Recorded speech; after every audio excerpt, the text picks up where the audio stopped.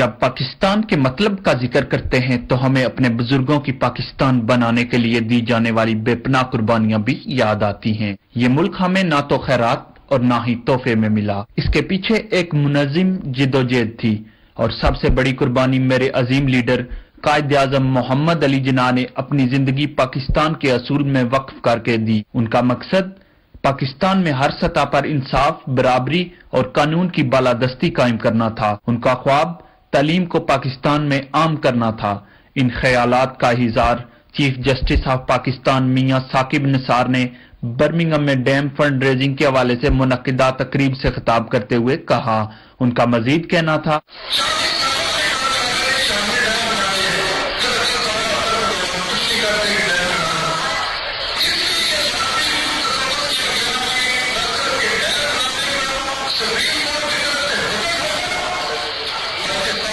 اس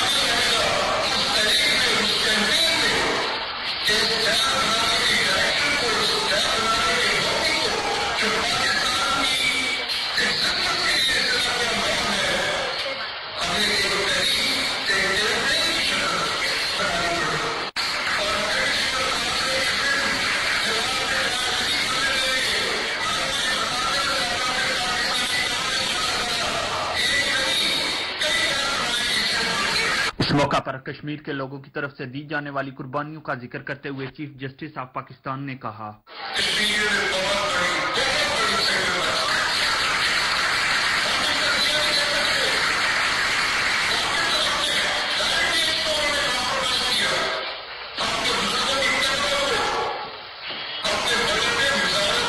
تقریب میں پاکستانی نیاد برطانوی boxer Aamir Khan, consul general of Pakistan Amer Ismail councillor Zakir Ullah, سابق کونسلر اور تقریب کے آرگنائزر راجہ شوکت علی، چودھری خادم حسین، عابد زمان خٹک اور دیگر دینی، سیاسی اور سماجی جماعتوں سے وابستہ افراد کی بڑی تعداد نے شرکت کی اور ڈیم کے لیے سات سو پچپن ہزار پاؤنڈ کی خطیر رقم عطیہ کی۔ اس موقع پر مشہور بزنس مین انیل مسرت نے برمنگم کے لوگوں کو مبارکباد پیش کی۔ برمنگم کے لوگوں نے اتنے زیادہ فنڈز اکٹھے کیے اتنے چھوٹے وقت کے اندر وہ بھی مڈ ڈے پہ۔ اٹس انکریڈیبل میں کہا برمنگم کی ہسٹری میں اتنا بڑا کوئی فنڈ ریزر آج تک نہیں ہوا تو برمنگم کے لوگوں کو بہت زیادہ مبارک۔ اے ون ٹی وی سے گفتگو میں اوورسیز کمیونٹی کی طرف سے چیف جسٹس ثاقب نثار کے اس اقدام کو خوب سراہا گیا۔ چیف جسٹس میاں ثاقب نثار کا یہ دورہ برطانیہ نہایت ہی کامیاب جا رہا ہے اور انشاءاللہ یہ ڈیم پانچ سال کے اندر اندر بن کر رہے گا۔ چیف جسٹس آپ خود یہاں پہ آئے اور سب پاکستانیوں نے بھرپور طریقے سے اس میں پارٹیسپیٹ برمنگم لوگوں نے بھرپور ساتھ دیا ڈیم کے فنڈ کے حوالے سے اور آئندہ بھی دیں گے۔ بہت اچھا فنڈ ریز ہوئے آج برمنگم میں چیف جسٹس صاحب خود آئے ہوئے تھے اور لوگوں نے دل کھول کے احتیاط دیا۔ Want